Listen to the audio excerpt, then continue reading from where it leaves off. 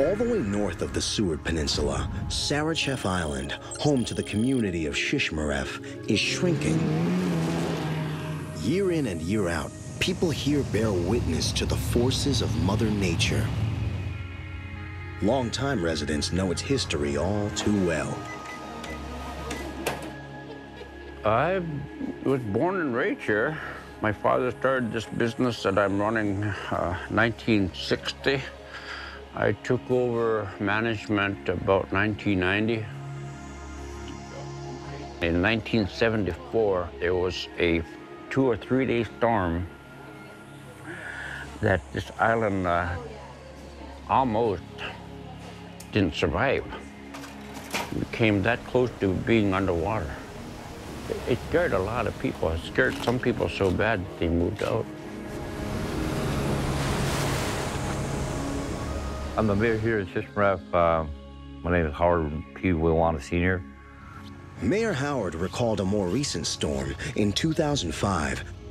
During that initial storm, there was um, like three homes that were that we lost to the Mother Nature.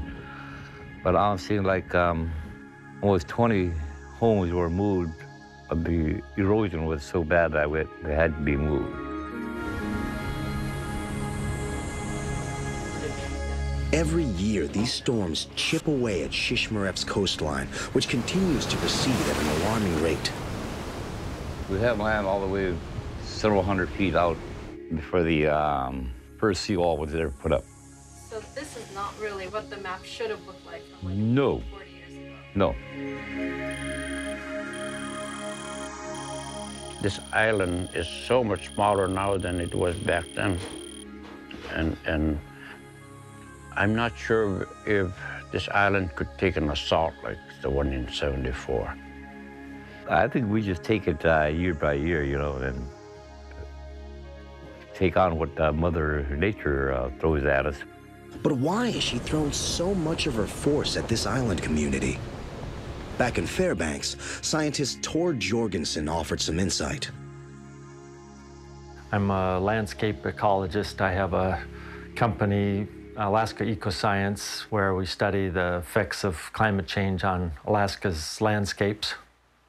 Shishmaref is built on a barrier island system. And so it's uh, highly dynamic in terms of coastal currents moving. And we see it from sea ice retreat, where sea ice is declining about 3% a year and opening up vast stretches of the Arctic Ocean. So the wind blowing over that open ocean over hundreds to thousands of miles um, can create waves now that are much larger than they used to be. So for Shishmaref, Corps of Engineers has done detailed analyses of erosion rates and what kind of methods to be able to use to even protect a, a barrier island system.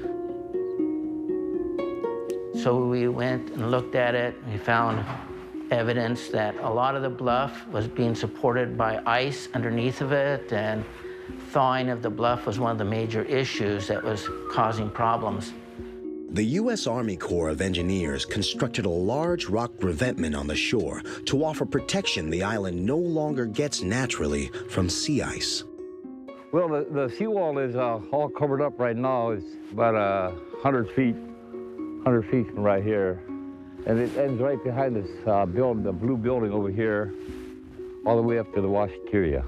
If you hadn't put in those revetments, you would have erosion that would go right now straight down the road between the school and the school housing. All of these revetments have worked. Some have eroded a little bit more than others, but they have all done the job of giving Shishmaref some time.